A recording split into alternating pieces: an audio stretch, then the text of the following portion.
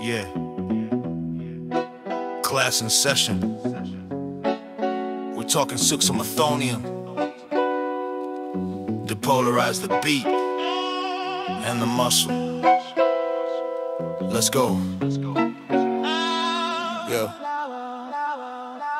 Gather around the lab, let me drop some direction. A drug with fast onset and perfect connection. Suxamethonium, the name's a heavy hitter. Hits the NMJ quicker than a signal to a transmitter. Binds nicotinic receptors just like ICs. But it sticks around longer, doesn't fade, doesn't break. IC can't touch it, now I won't degrade. So the end plate stays firing like a live grenade. Depolarize once, then the muscle can't reload. Phase I lock out, yeah, you're stuck in that mode. Short acting, fast acting, quick on the scene.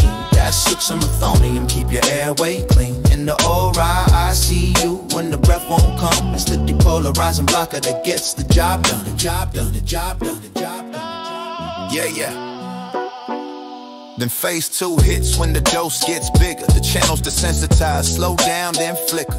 End plate ain't listening, can't the command. That's the phase where things shift. Better understand. Fasciculations first, yeah, the muscles will twitch. Then paralysis rolls in, smooth, no glitch. Clinicians love the speed, but you gotta know the play. Muscles take a time out, but only for a short stay. Depolarize once, then the muscle can't reload. Phase I lock out, yeah, you're stuck in that mode. Short acting, fast acting, quick on the scene.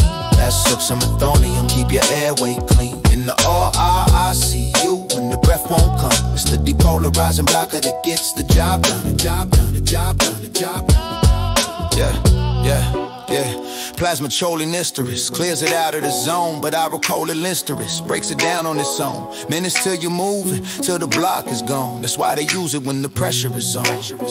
Rapid sequence intubation, time to react, Sux hits fast. That's a pharmacology fact. From theater to critical care, when things get tight, it relaxes every muscle so the tube slides right. Ventilation secured, yeah, the job is complete. Suxamethonium that front line seat. So if you're studying the blockers, keep this in mind. Depolarizing type, one of a kind. Remember the name when you're asked to explain. The drug fires once, then shuts down the chain. Depolarize once, then the muscle can't reload. Phase a lockout, yeah, you're stuck in that mode. Short acting, fast acting, quick on the scene. That's suxamethonium, keep your airway clean. In emergency surgery when seconds are mean.